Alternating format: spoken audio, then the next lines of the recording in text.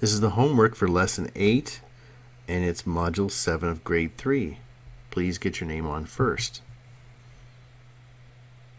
Draw a line to divide the square below into two equal triangles.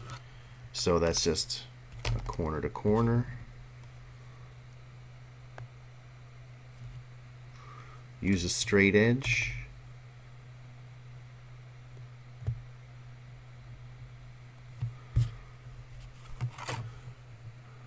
And now draw a line to divide the triangle below into two equal smaller triangles. Now this triangle looks symmetrical if you go right down the middle from there.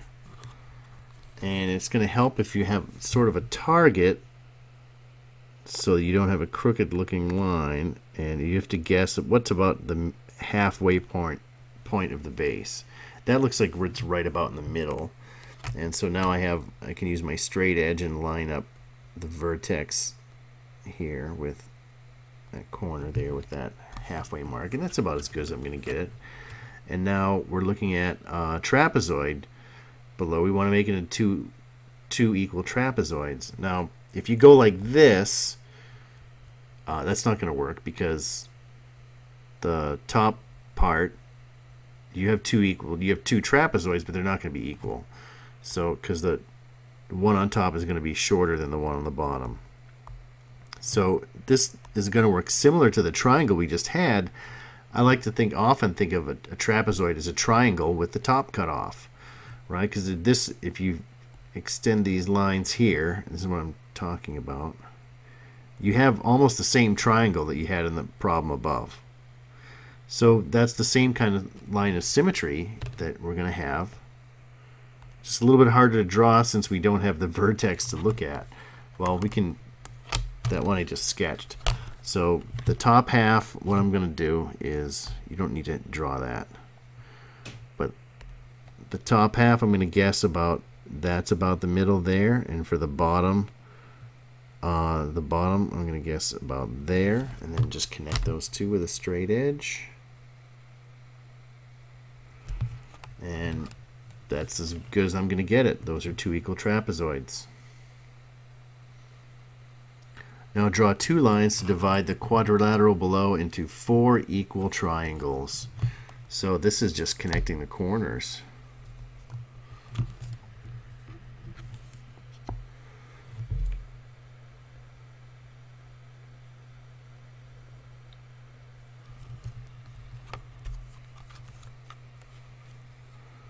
Please use a straight edge. This is all about getting it to look right, and that, that's what you need to have. That's what you have to use it to get it to look right. So there's four equal triangles. And now four lines to divide the square below into eight equal triangles.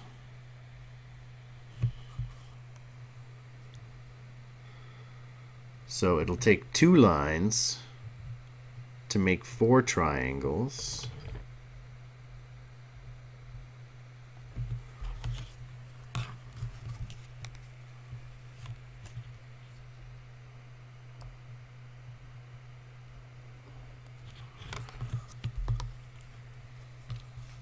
And then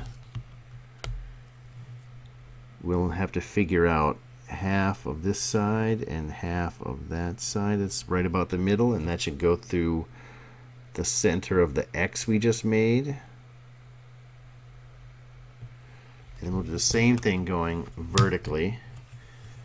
That's about the middle, and that looks like it's about the middle, and those should go through the X that we made with the first two lines.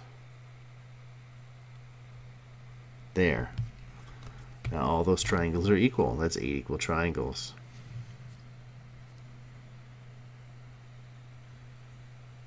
And if you think about it, if you don't believe that they're equal, they, you, they really have to be if you look at it because what we've also done is made this square into four squares that look like that, right?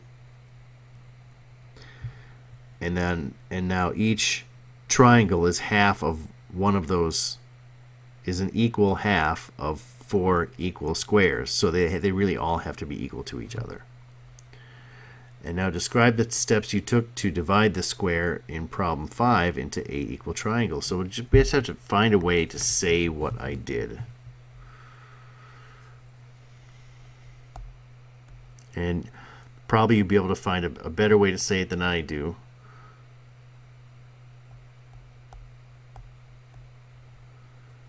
I drew two lines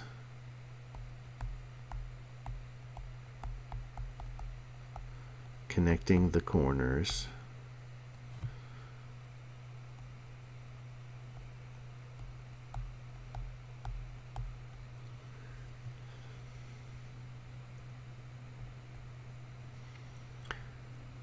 uh, then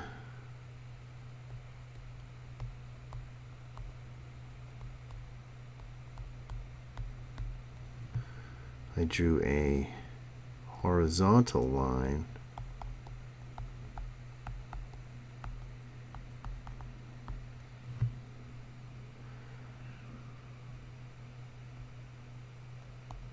To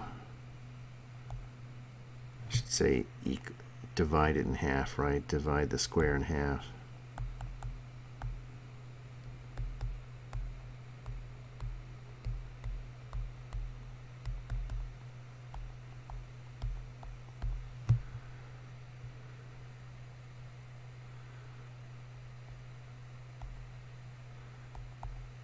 Finally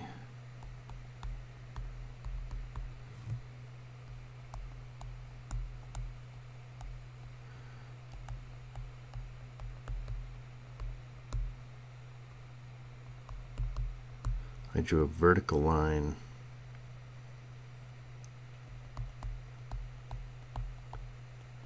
through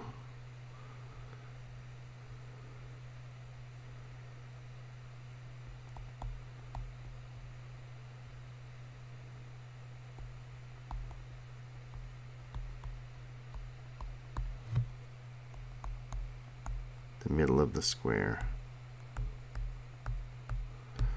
Lots of different ways you can say that. You probably find a way to say it that's even better than the way I did. Uh, so use your own words, and uh, you probably won't have to write so much.